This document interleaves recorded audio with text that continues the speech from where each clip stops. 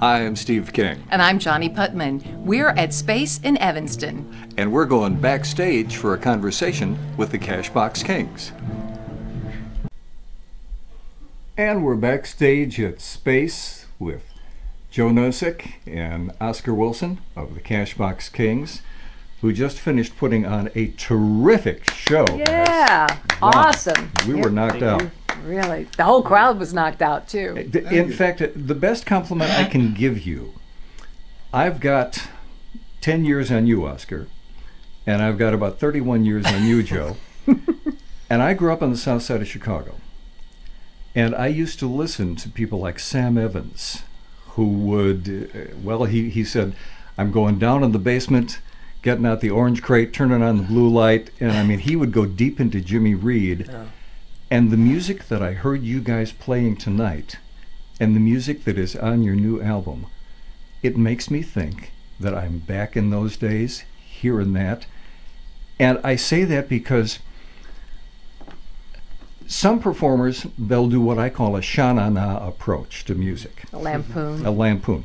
You guys aren't doing the lampoon, you're doing the real thing. How did that happen? Well, I think we came from it. We share a similar passion for this music and a love for it. But we came from, I think, two different places. From the suburbs and the city, right? It's in my bones. I was born with it. Yeah, yeah. His dad was a blues man. Tell him who you grew up around. Uh, Honey Boy Edwards, Junior Wells, Big Smokey Smothers, Lil Mack Simmons. Uh, who else to come to Elmore. the Elmore James. Wow. Uh, and, and probably a few more. I was just young, too young to know who a lot of them were. Yeah. But uh, my mother used to have these fish fries, and my father played uh, uh, uh, blues too. But he passed away two months before I was born in 1953. But uh, my mother would always cook, and some of the guys would come by, and my sister ended up uh, having a son by Big Smokey Smothers. You know, and they would all come by and just sit down. That's before they amplified everything and Mm-hmm. just play. And as a little kid, I would just be standing there watching them. You know, rather than playing with the other kids, I was always interested in the blues. Mm-hmm. You know, people be, it would be like, "Little boy, how you know all of that?" But I, you know, my father must have just gave it to me some kind Mm-hmm. of way. You know, and uh, I didn't get a real chance to actually come into this but ten years ago. That's right, because Joe, you started the Cashbox Right, Kings yeah. 16 years ago in Yep. 01. Yep. And then Oscar joined you 10 years ago. right. So y- you were puttering around between here and Wisconsin, Madison, Wisconsin, right? Yeah, I, I um, my formative years were down here, well, in the suburbs. but I used to sneak into the city and, and sneak into clubs in my teens and see Yeah. guys like Jimmy Rogers and Junior Wells and James Cotton, Mm-hmm. and that just you know blew me away. And Wow. I I would go to the Chicago Blues Fest every year. I think starting about age 14, and take the train down, and I'd catch every note from the start to finish every day. And I got to see you know the originators of this Sure. music, and and you know listening to the radio in Chicago growing up. There there's still a lot of blues shows you could listen to Yeah. Yeah. and uh, it blew me away. And you know, my dad, as close as my dad got to blues, is you know they go to Maxwell Street every Saturday, but that was to get Sure. a Polish sausage, and Right, new shop. pair of shoes, or some pair of pants for school. I said, Dad, you probably saw like Little Walter and Robert Knight. I was like, I don't know, a bunch of old black guys. I didn't know who they were. but um, but you know, I, I you know, at, at a young age, this, this music hit me, and I said, wow, you know, I got to learn how to how to play this. But it, it must be a pinch me moment for a kid who grew up idolizing the likes of uh, James Cotton, and Yeah. then you play the harp and you're so good, and people go, Man, I hear a lot of cotton in you. That's, That's why I call them white cotton. I know. I love that. Yeah, when, when did it go from liking it to realizing, yeah, I can do this? I can do this. I don't know. You know, I would go. I would sneak into clubs like Buddy Guys, and then I'd say, "Man, if someday maybe I could get up on stage or something for a blues jam." And, and I, I guess I just kept at it. And I got lucky because in high school I wanted to play sports and be in band. And the band director called me one weekend and he said, "Well, you know, we need you. We're doing a car wash on Saturday in Kankakee and another car wash in I don't know Elmwood Park or something." I said, "Well, I got you know I got games." He said, "Games." you can't play sports and be in band. And so I said, well, I, well, I, I gotta you know, I gotta play sports, so I guess I'm gonna do music on my own. Oh. And I picked up guitar and harmonica then, and kind of taught myself. And then I started hearing blues, and I thought, why, man, I gotta figure out how to do this. And then you know, slowly but surely, and I just kept at it. A lot of hours in the basement, a lot of hours playing, uh, trying to mimic what I heard Little Walter playing on records, and and slowly but surely, you know, you get good enough where you're not going to make a fool out of yourself on stage, and then you start making connections with some older musicians. And, and I think the great tradition in blues, one of the great things about it is that, and we do it to this day, that there's a young kid that shows an interest and a passion for it, you let them get up on stage. Mm-hmm. You give them enough rope just to hang themselves, you know. But uh, Trial by fire. and, you know, and then you know, and then you little by little, and that's kind of how it happened. Until I got to the point where I said, you know, man, I, oh, I- I'm getting a little better, and some people, and then I I ran into Kenny Smith and some other like-minded guys my age, and we thought, and talking to Kenny Smith, whose dad's Willie Big Eye Smith, and Kenny, you know, said, you know, it'd be really nice to have a band, guys our age, because I play this music, but it's always with my dad and his friends, and they're all like 70s, like the young guy, yeah. and a lot more in their 80s, 90s, and he said, man, it'd be cool to like get a bunch of young guys our age together, and that's Yeah. kind of how it started, and slowly but surely we made our way up the ladder, and And this is a huge year for you because after all these years, you've signed with Alligator Records. How cool is that? Yeah. it's pretty awesome. I think if you told me as a kid that I would have signed with Alligator, I would have, you know, dropped dead of a heart attack. Yeah. Because I think, you know, those Hound Dog Taylor records and hmm Big Walter and, you know, those are some of my favorite records. And, you know, as a kid, listening to, you know, obviously the Chess and, Mhm. and, you know, Vee-Jay and those, but then later on, you know, Blind Pig and Alligator kind of picked up that mantle. And, Right. and uh, you know, we were, And on, Bruce we were Iglauer. on, we were on Blind Pig, which was a great Yeah. run and then you know they kind of got bought up and it was time to find a new home and wow here we are we're with bruce and alligator and i'm really appreciative of bruce for putting out a old school chicago blues record in 2017 and having the faith in that and then also Yeah. You know he didn't filter us or or censor any of the kind of political and social statements that we Right. try to make with this record as well i mean Because- it's about the music but we wanted we we felt that these, we needed to say these things And, And- isn't that one of the cool things about being with Alligator? Because you've got a guy who's the label head who isn't just a businessman, he has a passion for this kind of music. Yeah.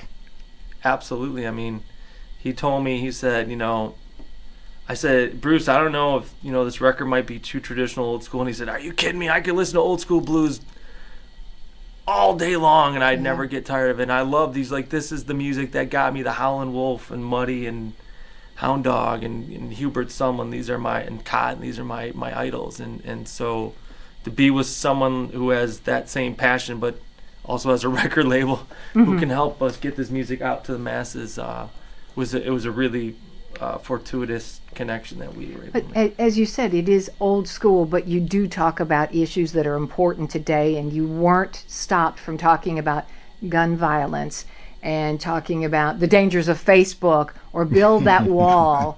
And I mean, some really powerful messages there, but they come to you in such a way that you, before you know it, you go, oh, wait a minute, I, I've just been taken to church.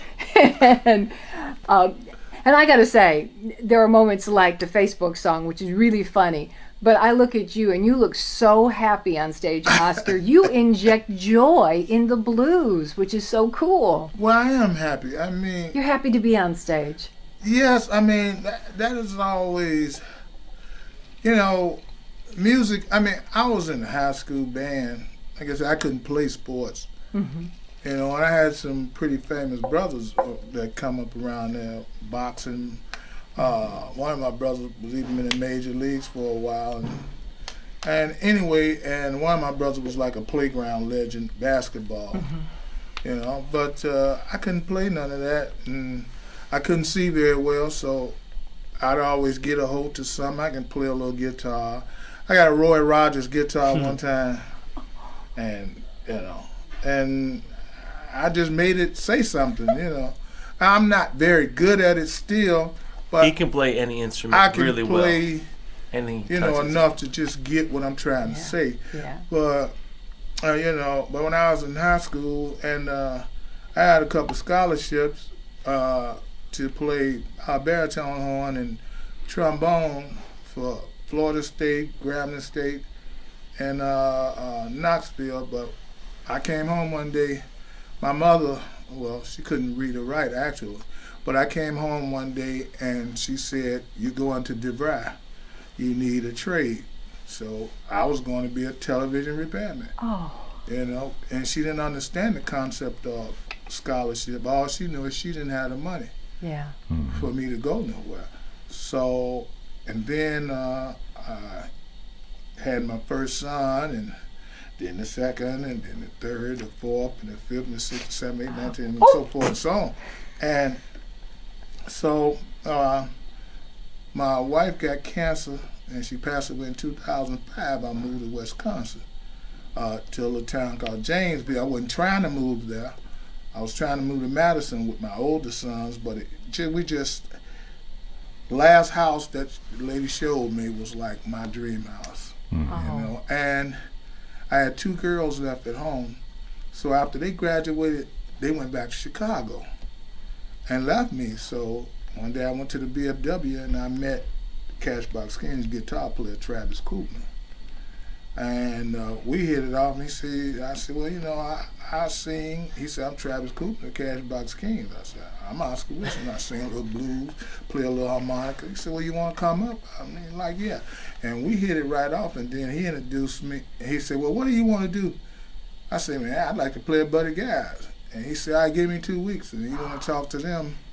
And what was it? December fifteenth, I think it mm-hmm. was. I we played. I played Buddy Guys. So Travis calls me up and says, "I got I met this guy. He's awesome. We gotta let him come sing with us sometime." I said, "Sure." He said, "Well, he's gonna sing at Buddy Guy's next Friday." I said, "Whoa, whoa, wait a second. I want to meet this guy." He said, "No, no, don't worry, don't worry." So Oscar shows up in a three-piece suit and a hat, and uh, I shook his hand and I said, "Well, you look the part." and uh, what are you gonna sing? We said, "I'll sing this by Muddy Waters, a couple of songs." And he, I think he sang three songs and got three standing ovations. And yeah, that joy Yeah. that just uh, radiated off of him, and the, and the crowd felt it. And uh, he was having fun up there, and people want not only to be entertained, but they want to see people having fun, Yeah. and it and it it it reciprocates back and forth. Yeah. And I said, "All right, this guy's all right." Uh, No, he did. well, might have took a couple more. Well, I mean, it took a while, you know, because I mean, you know, a new person come in and you know you used to lead singing all the time, you know, and to get fed in, but we become the best of friends, Yeah. you know, through it all. You know, old man, young buck. You know, I have to slow him down sometime, but you know, but honestly, I couldn't ask for a better friend. Well, not just enjoying the music and, and liking to play together, was there a point where you realized that there was a chemistry when you guys were on stage together? Because, Oh, yeah. boy, that was evident tonight. Oh yeah, it's it's it's been one. But like he said, we're like an old married couple. Mm-hmm. You know, we have our days, you know, and and uh, I'll just leave me alone. Mm, You know, and uh, uh, it, and then a few minutes later, you know, I you know, like I say, see what people don't realize sometimes maybe it's you wrong. But if you can get away from it for a few minutes and calm down, then you can think that maybe I, maybe that was my fault. Mm-hmm. You see what I'm saying? Mm-hmm. So you know that's why I, if I confront, I move away for a minute because I might be the cause of this mm-hmm. problem here. Remember that, Steve. You know? Well, I think that's the thing I don't think people realize is you guys know you've been together a long time. It's hard enough to be married to someone. Try being in a band, which basically means you're married to five people at once. Right, right. And and I don't have to take many cross country trips with my wife in a van. Mm-hmm. Um, think I know I love my wife, and I'm sure we, we would have fun. But after a certain while, no matter how much you love someone, you know you, you can get on each other's nerves.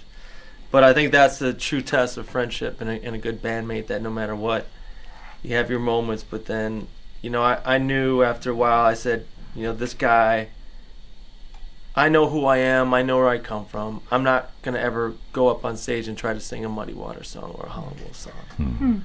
Uh, I know my place. I the music I write. I try to w- music that I sing. I try to do something that I'm comfortable singing, and I try to draw on some of the other styles of American roots music like rockabilly and country that I'm a little more comfortable with, and infuse that at what we're what we're doing. But when we write things together, I'll write a stone cold blues song knowing that I got this guy here to sing it and sing it right. And so to be in a band with him, a guy who comes from this to me almost mythic time and place, uh, South Side of Chicago, with all these people that I idolize and who can sing it so naturally. I mean, it's in his bones. Uh, it's like a thrill to me. But that's why you had me uh, sing uh, "Don't Mess Around with Jim." Yeah. Was that uh, satire? No, it was not satire. but see, we give each other a hard time. But he, we we, we cover the, the Jim Croce song "Don't Mess Around with Jim," and so he'll give a, "This guy made me cover this song. It's crazy." on the And I say, Oscar, I never heard this song. I wasn't even born when it came out. You were the first guy you got a guitar one day and played it for me. I said, "Well, that sounded cool. We should do that." So I take no blame for that. But that but that's all part of the banner. And I, I think now, you know, I, I have to say that the guitar player that he was talking about, Travis Koopman, the, was the original one of the other founding members and he and I had a very special chemistry together. And that's why I wasn't so sure when this guy stepped in. I thought, well, you know, we can, this is you know, kind of me and him. Uh, but then shortly after Oscar joined the band, Travis um, had to leave the band for health reasons, and I thought, man, what am I gonna do? You know, this is my my buddy. This is my kind of my safety net. And uh, for a while, I honestly thought maybe I should just go back to my just doing my day job and and being a family man. And but I, I knew there was something with Oscar that I still hadn't totally tapped into, and I'm glad that I wrote it out because uh, it's been a good ride, hmm and I think we got a lot of miles to go yet. And you got this great album to show for it too. And let me just say that kudos. She wasn't here tonight, your your piano player, Yeah. but there's a woman in the band, Yeah. which is very cool. She's and she had big shoes to fill. Yeah. Yeah. She's stepping in for Barrel House Chuck, who we Yeah. lost only in his 50s Yep. just Yeah. last year. I mean, that is an enormous task. But on this album, she She cooks. was uh, she was Jeez, absolutely smokes. amazing. Lee Yeah. Kanehira. Fabulous. and She's in Tokyo now. She's in Tokyo. She lives in Tokyo. But the first time I met her too, a very similar kind of Oscar Wilson like story. Kenny Beedy Eye Smith, our drummer, called me up and he said, "Hey, uh, I got someone I want to play piano with us." I said, "Well, okay. Uh, I trust your judgment. Uh-huh. You know, you're you know what you're talking about." So we show up to this gig and. He said I wanted to play Buddy Guys of all places again, and all of a sudden this this young Japanese girl comes and like very demurely introduced herself to me, and I Oh. said, "This is the piano player, Kenny." he said, "Just wait." So we got up on stage, and I said, "Well, uh, do you want me to tell you the song?" She said, "No, just tell me the key." I said, "Okay." Well, she got up there and she just started banging like Sunnyland Slim or Otis Spann. I couldn't believe it. wow. And um, you know, she idolized Chuck. She's, I think, you know, Chuck is one of her all-time favorite piano players, and was, you know, really kind of worshiped Chuck, and would come and, and go to shows when she would come to Chicago every year. And uh, when, uh, you know, when Chuck passed away way too young, you know, we said I really wanted to play on this album, but he was just physically too ill to, to, to play on it, and. Uh, so the the person who came to mind immediately was Lee because I knew how much we liked playing with her and how much she idolized Chuck and she took it very seriously. And I think the thing that's great about her, and, and this is kind of an alligator connection, but she uh, got to meet Bruce Iglauer a couple months ago when she was in town, and she said, "I really want to meet Bruce because I've always been very indebted to something that he said, and I really appreciate him." She said, "I, I saw the alligator documentary film." and Bruce was talking about Katie Webster, Two Fisted Mama, one of the great piano players that she recorded on Alligator. And the interviewer had said, "Oh, isn't she an amazing uh, female piano player?" And Bruce said, "No, she's not an amazing female piano player. She's an amazing piano player." Yeah. And Lee said that meant, as a young girl in her 20s, a lot to her because she felt she was often judged as, "Oh, you're a girl or a chick Mm-hmm. playing," and uh, she's the first Cashbox queen but she it. fits right in with Yeah. us, and Yeah. and we love playing with her, and yes, uh, indeed. and she's a, f- a phenomenal human being, and uh, we're we're we're, we're glad to have a, a rose amongst the thorns. Oh gosh. I have to ask you about the recording of the album because every track has the sound of a live recording.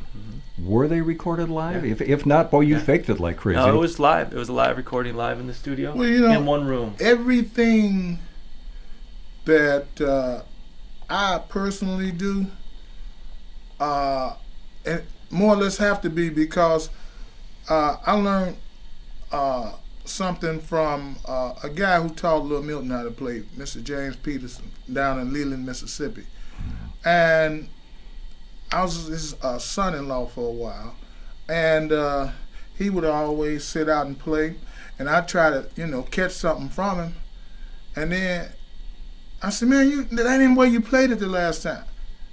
He said, "I didn't feel like this the last time." Ah. You know, and and this before I even got in the game. You know, I'm like, mm-hmm. "What do you mean by he didn't feel like that?" So once I got in, now I understand because I'm not a verbatim guy. You know, I can't get up and sing the same song, and we're gonna sing the same songs tomorrow. I can't sing them the same way. I mean, I feel that way tomorrow. Mm-hmm. You see what I'm saying? Mm-hmm. So, and, and that's the thing about what makes blues so excited. And then when we record, my best is uh, uh, uh, maybe the first or second take. If I go too many times, now I'm going off. I, I, my best shots. I ain't gonna improve too much because cause then I'll start changing. My mindset I'll start. Don't think too much. That's Yeah. right. I'll start to change things. And you know, and you know, I when I'm doing a song, I try to go to sleep, and if I can get it in my in my head, in my you know, while I'm asleep, then okay, yeah, now I got it. It's fixated. Okay, now I'm gonna go record it. But I may write some of the stuff. He'll tell you, I'll forget when I go on stage. I'm just getting old. I mean, you know. but and sometimes I can roll through it. Yeah. You know. But those albums, tell us, they're really important to do them live yeah, so uh, in the roll it. moment, very organically, and you know, no studio gimmick gimmicks, and we just we go in there and we sit in the same room, we play it live, and and whatever comes out at the time, and, and I know labels probably don't want us to publicize all that much because they like people to think that we slave over these things, but we, you know, we try not to think too much. We try to go in, get loose. Take one or two or three takes at the most and move on and Eat some and barbecue. Eat some barbecue. That's, That's right. very important. We're Yes. always I always make sure that Good the group food. is well fed with Yeah. plenty of barbecue when we record, and that's that's what happens. I can't believe we're talking about this new album on Alligator Records. We didn't even bring one with us to hold up and oh show man, folks. So, so blatant plug. Uh, the name of the album is. Royal Mint on Alligator Records. The cover is great. The liner notes. It's the it's the whole package. It really is, and people can get it at the Cashbox Kings website. Yeah, if you if you go to um, cashboxkings.com, www.cashboxkings.com, you'll land right on the site. You can go into the site or you can buy the record. And if you go into our site uh, on the music page, you can listen and, and stream the entire album. But we hope that um, people out there in, in this age of digital piracy and Yes. free downloads Buy it. uh, help us struggling musicians and because it costs money to put out a record and it costs money out of musicians pockets. And great labels these days are dropping like flies. Labels that have been around for 30 40 50 years because of the, the whole i would say not so positive changes that have taken place in the music industry with the whole digital revolution and so um, you know we'd, we'd love to have people buy the record, but if you want to stream it or do what you have to but you know, come see us live as well. I Do mean, yourself 'cause a favor and come and see where these. it's at. Yeah, come see these guys perform live. And uh, in closing, I'd say that one of the other things that was so impressive is it's, it's like you guys check your egos at the door, and you got to have some ego to go out on stage.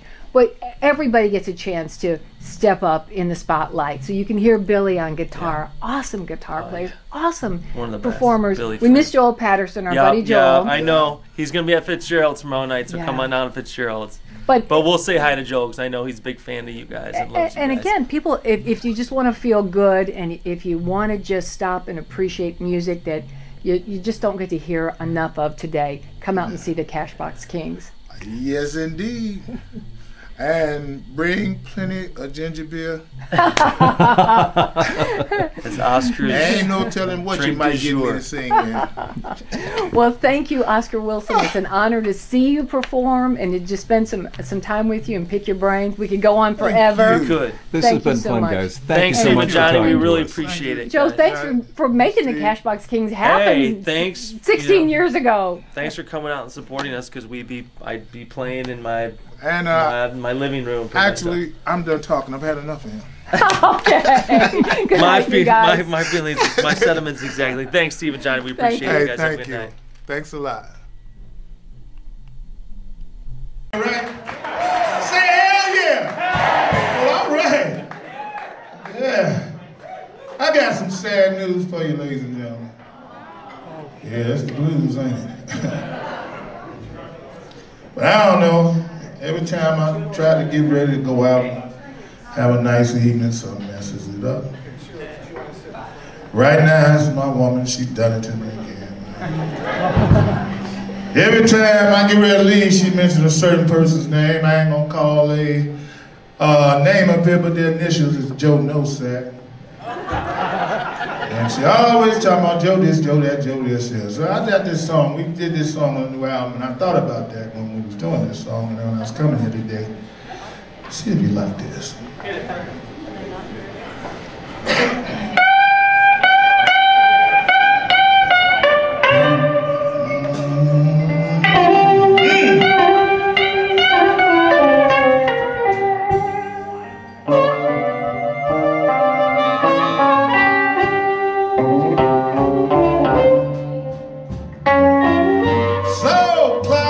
Cloudy.